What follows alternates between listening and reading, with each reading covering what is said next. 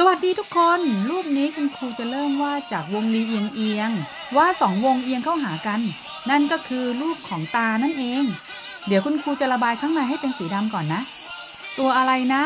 มีตาดำๆสองข้าง หรือว่าจะเป็นหมีแพนด้า แต่ไม่ใช่หรอกนะ เพราะว่ามันน่ารักเกินไป จริงๆ แล้วรูปนี้ค่อนข้างจะน่ากลัวเลย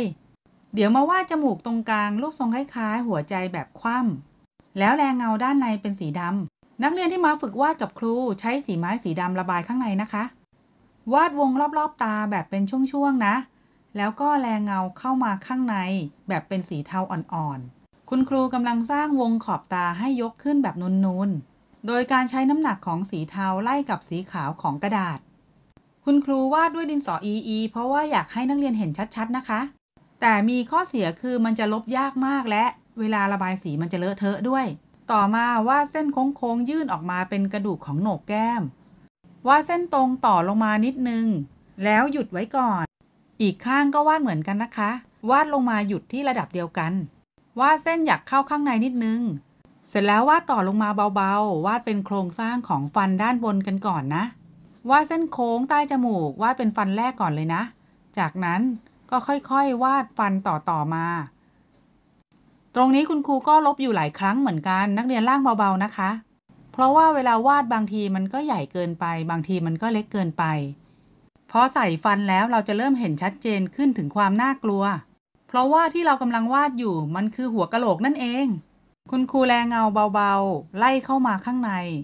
เพื่อให้กระดูกของโหนกแก้มดูยกนูนขึ้นนะคะ วาดหน้าผากกันต่อ ลากเส้นตรง หุบเข้าด้านในของตานิดนึงนะคะ ด้านบนวาดเส้นหยักแหลมๆเป็นโคนผมไว้ก่อน แล้ววาดต่อลงมาเป็นหน้าผากมาหยุดที่เบ้าตาเหมือนเดิมนะ เช็คกึ่งกลางจากตาและจมูกลากเป็นเส้นโครงสร้างไว้ก่อน เวลาเราจะวาดอะไรที่เป็นสองข้างเท่า ๆกัน เส้นโครงสร้างกึ่งกลางจะช่วยให้เรากะได้ง่ายขึ้น วาดเส้นตรงพอดีกับฟัน เป็นเส้นตรงยาวขนานลงมากับเส้นสี่เหลี่ยมนะทำทั้งสองข้าง ยาวลงมาแล้วบานออกนิดๆ อันนี้ก็คือกระดูกขากรรไกรกำหนดจุดคางตรงกึ่งกลางไว้ก่อน แล้วลากเฉียงขึ้นไปทั้งสองข้าง ลากเบาๆเป็นโครงสร้างระดับของฟัน จากนั้นเริ่มวาดฟันกันได้เลยวาดเส้นตรงแบ่งเป็นซี่ๆลงมาจนถึงระดับที่เราขีดไว้ แล้ววาดเส้นโค้งปิดเป็นฟันแต่ละซี่ เริ่มวาดจากตรงกลางจะง่ายกว่า ส่วนฟันข้างๆริมๆก็จะผอมลงเล็กน้อย สี่เหลี่ยมข้างในนี้เป็นสีดำนะคะ คุณครูจะระบายไปเลยเพื่อให้นักเรียนเห็นชัดๆ จะได้ไม่สับสน ส่วนนักเรียนจะระบายทีหลังตอนที่เราล่างเสร็จแล้วก็ได้นะคะ เพราะว่าถ้าระบายก่อนแบบคุณครูจะทำให้งานสกปรกง่าย ถ้าให้แนะนำอยากให้นักเรียนล่างทั้งภาพให้เสร็จก่อนนะ แล้วค่อยระบายสี วาดปกเสื้อโดยเช็คระดับจากฟันที่เสร็จแล้วนะ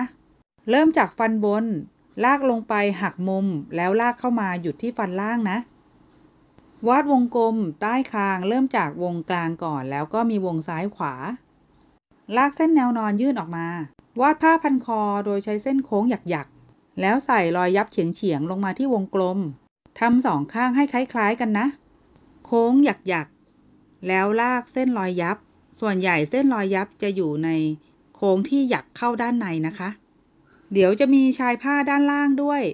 เริ่มวาดจากกระดุมตรงกลางก่อนนะคะ เป็นเส้นโค้งนิดๆลงมา กระดุมริมซ้ายลากลงมา กระดุมริมขวาลากลงมา จากนั้นใช้เส้นโค้งวาดเป็นรอยยับของผ้าที่พลิ้วๆนะ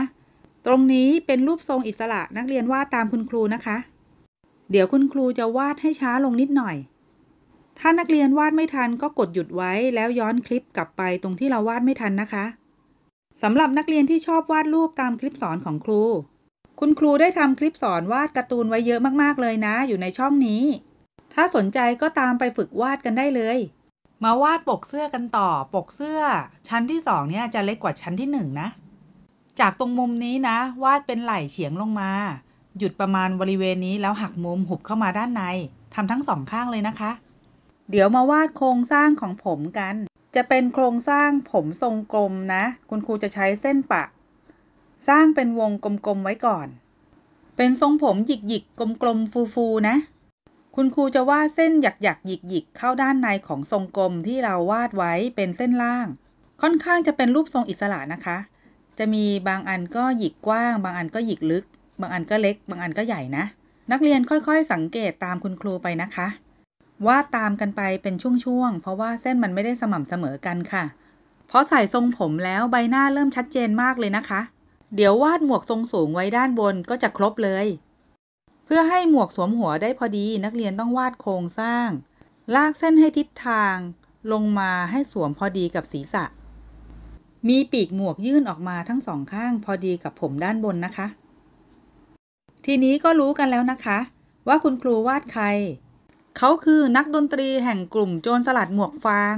มีชื่อว่า Humming Brook ตอนนี้ถ้าใครรู้ว่าค่าหัวบรูคเท่าไหร่แล้วพี่มาบอกคุณครูด้วยนะ ที่คุณครูกากระบาดไว้ในรูปนั่นคือพื้นที่ของสีดำทั้งหมดเลยนะ ซึ่งสีดำเราจะระบายเป็นลำดับสุดท้าย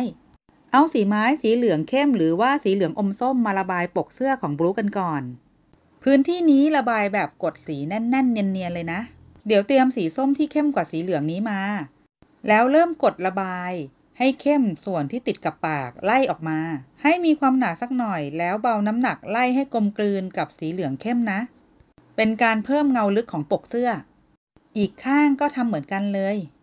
นักเรียนจะเห็นว่าสีไม้ของคุณครูมันจะมีสองสีต่อกัน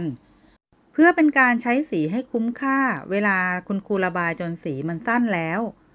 เราก็จะเริ่มจับไม่ถนัดคุณครูก็จะเอาสีไม้ที่สั้นๆสองแท่งมาต่อกัน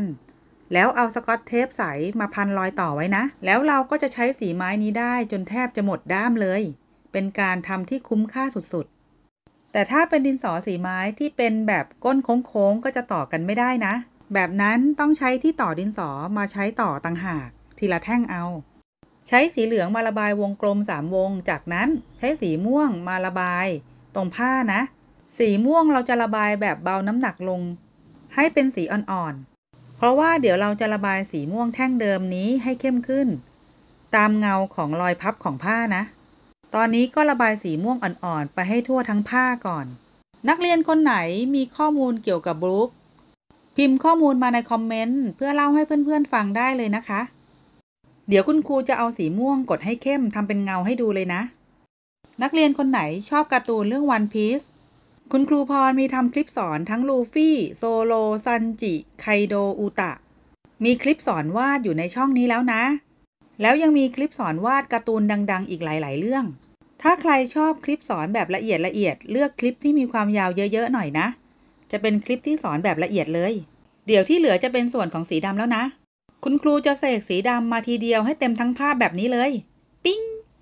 ง่ายดีเนาะ แต่ในความเป็นจริงมันก็ไม่ใช่แบบนั้น คุณครูก็ต้องค่อยๆระบายให้แน่นทีละนิด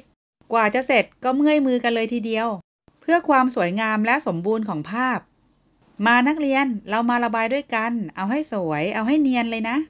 เพื่อความสะอาดอย่าลืมหากระดาษมาลองฝ่ามือกันด้วย ไม่อย่างนั้นฝ่ามือเราจะขยี้สีที่เราระบายเสร็จแล้วทำให้เลอะไปทั้งภาพเลย และเราควรระบายสีจากด้านบนลงมาด้านล่าง ระบายให้เสร็จฝั่งซ้ายแล้วค่อยมาระบายฝั่งขวานะ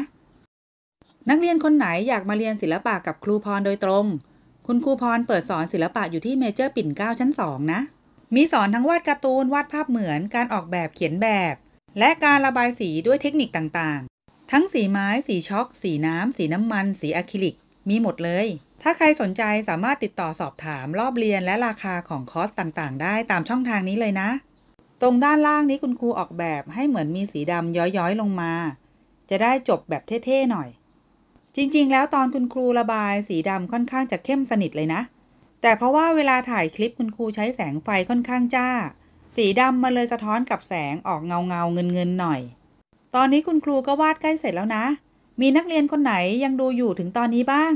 พิมพ์คอมเมนต์คำว่า B บวกส่งมาให้คุณครูรู้หน่อยนะ ต้องเป็นนักเรียนที่ชอบวาดรูปแน่ๆ ก็ขอบคุณที่ติดตามรับชมจนถึงตอนนี้ แล้วเจอกันใหม่ในคลิปหน้านะทุกคน บ๊ายบาย